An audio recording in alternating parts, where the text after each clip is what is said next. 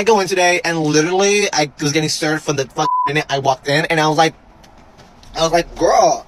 I was like, what do you mean, baby? I was like, it's ma'am. Like, it's ma'am. Please refer me as ma'am. That is my pronouns.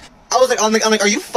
I was like, I literally just told you that I go by she, her pronouns. Do not call me sir. Oh my god, girl, I have the same problem. I went to my bank the other day and I told them I identify as a millionaire now, respected, and they refused to put money into my account. Refused. How dare they not buy into my fictional world? How dare they?